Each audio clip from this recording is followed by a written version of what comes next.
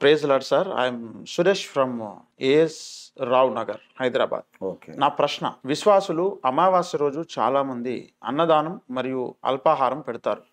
Road పైన అక్కడక్కడ విశ్వాసులు తినొచ్చా అనేది నా ప్రశ్న అంటున్నా. ఎందుకు తినాలి ఇప్పుడు ఒకటే అడగాలి ఏదన్నా తినకముందు ఇది విగ్రహార్పితమా అని అడగాలి. ఏదన్నా దేవతలకు నైవేద్యం పెట్టిందా ఇది అని అడగాలి.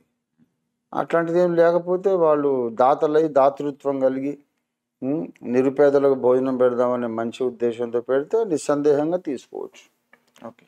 ఒక దేవతలకు అర్పణగా పెట్టిన నైవేద్యాన్ని మాత్రమే మనం తినొద్దు. ఉమ్. మామూలు ఆహారం అన్యులు పెట్టినా విశ్వాసులు పెట్టినా మనం తీసుకోవచ్చు. అభ్యంతరం లేదు. అంటే వాళ్ళు పెట్టింది అది ఒకవేళ విగ్రహార్పితము అయితే కూడా.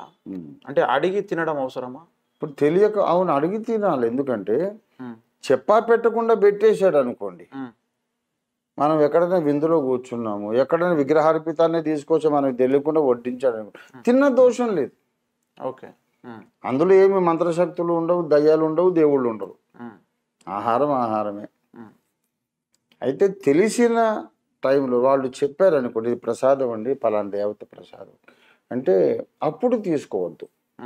ఎందుకు? వాళ్ళందరి ఎదుట ఒక సాక్ష్యం ఉండాలి. యేసు ప్రభు వారు సమస్త దేవతల కంటే ఔన్నత్యము కలిగిన వాడు ఆయన అద్వితీయ సత్యదేవుడు గనుక ఆయన నా ఇష్టదైవం గనుక నేను వేరే ప్రసాదం నేను తీసుకోను.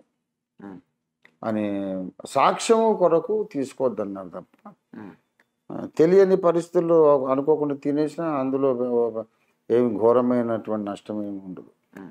ఈ సాక్ష్యము తన వ్యక్తిగతంగా తన మనస్సాక్షి కొరకు ఉండే సాక్ష్యమా? ఇతరులకు చూపెట్టుకునే సాక్ష్యం ఇతరుల మనస్సాక్షినే చెప్తాడు.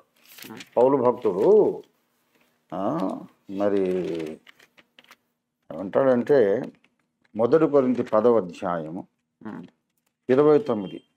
మనస్సాక్షి నిమిత్తం అనగా నీ సొంత మనస్సాక్షి నిమిత్తము కాదు. మనస్సాక్షి మనస్సాక్షి నిమిత్తం. నిమిత్తమే నాకు చెప్పచ్చు. అంటే అవతల వానికి ఇతడు క్రిస్టియన్ అని తెలియకపోవచ్చు కదా. అప్పుడు తెలుసుకుంటాడు.